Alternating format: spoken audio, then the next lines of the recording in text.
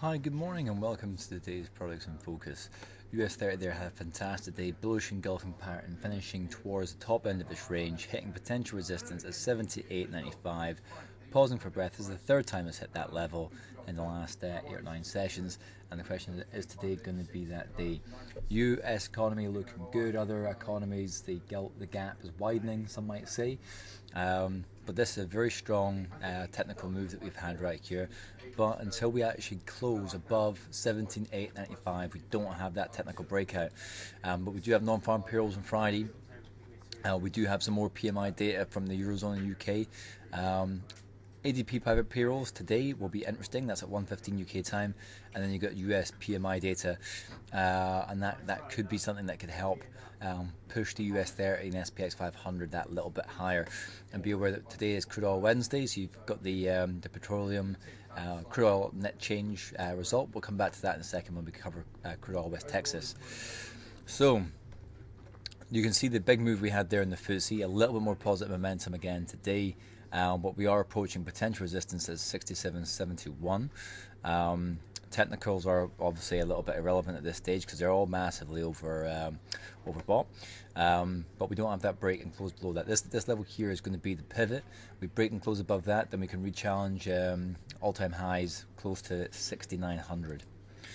Moving on to Japan 225. Well, as dollar yen continues to move.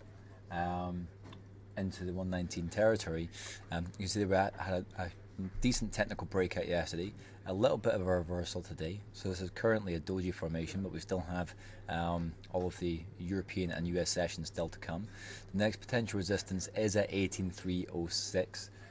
Dollar yen looks like it's got good momentum, and with the US data coming out today, the PMI data, um, we might get that, that break up to 120 uh, and that ADP private payroll as well. So we're not a million miles away from there right now if we have a look at dollar yen. We're 119 spot 20 just now. Uh, we have actually been that little bit higher, so we're at 119 uh, spot 47 was the, was the high there. We're on the right side of potential broken resistance now, expected to act as support at 118 or 119. Um, so yeah, um, that is that American data today could be that, that extra catalyst. In fact, you can see that GBP USD and Euro Dollar are also on the back foot. The greenback strength is uh, is rampant right across the board at the moment, um, as that lower crude oil prices is a real a real stimulant for the U.S. economy. Uh, effectively, a, a, a, taxation on uh, on the particular global economy, and that taxation has dropped quite significantly. You can see that. Um, already the candle for the week is incredibly volatile. Let's switch on to the daily interval. Uh, now we would have had a little bit of a bounce yesterday, so this was a, a hammer. For, no, this was actually a, a, Monday. We had a hammer formation, more of a retreat yesterday, or a bit of a further retreat today. It's probably looking like it's only a matter of time before $64 uh, is in play again, and um, the next potential resistance below that is around about 59.50.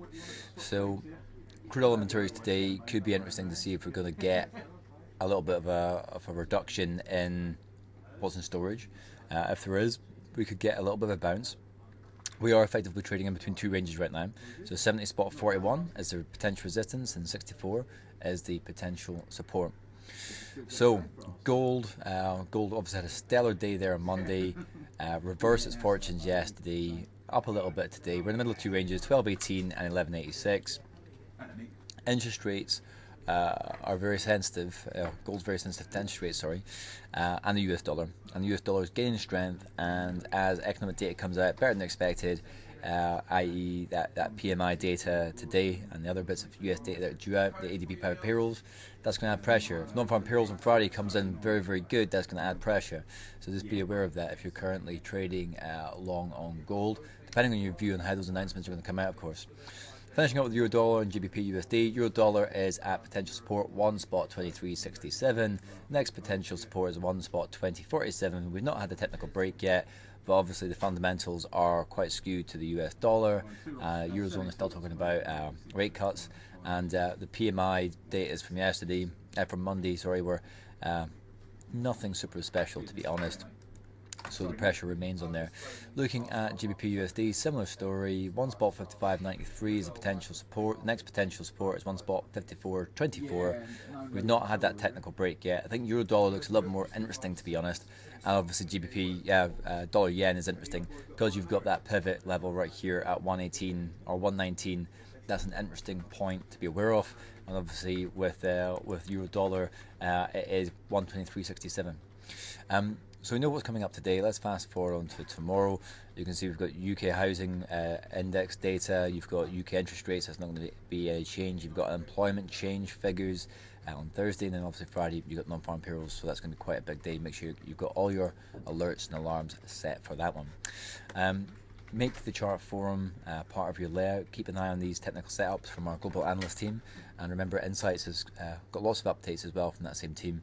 And join me again tomorrow to find out what happened next.